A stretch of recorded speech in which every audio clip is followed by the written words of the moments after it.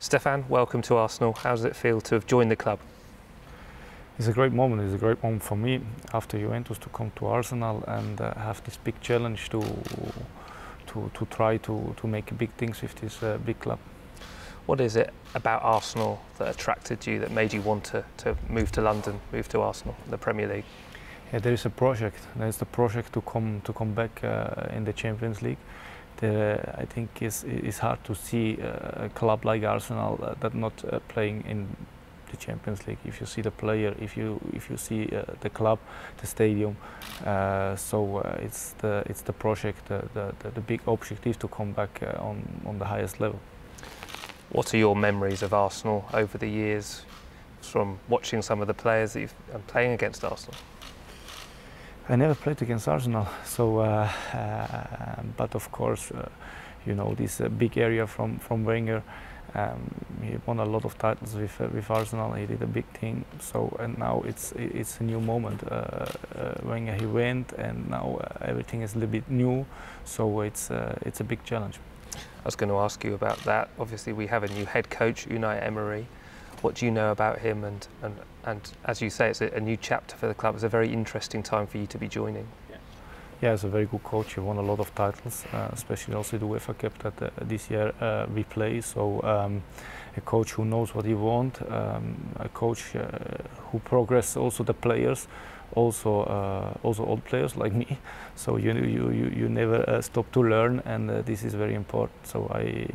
I'm really positive that uh, we, will, we will do great season.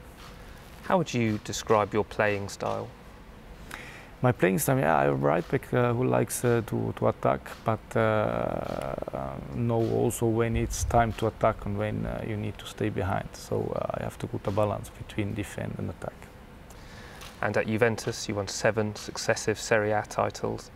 You'll bring a huge amount of experience into this Arsenal dressing room having won so many trophies, how important is it to have someone of, of that experience in a dressing room to, to guide some of the younger players? I, I hope I can bring a, lot of, uh, of that, a lot of mentality. Um, it's a little bit the same project that I did seven years ago with, uh, with Juventus. Juventus also two times uh, they, they was not qualified for the Champions League.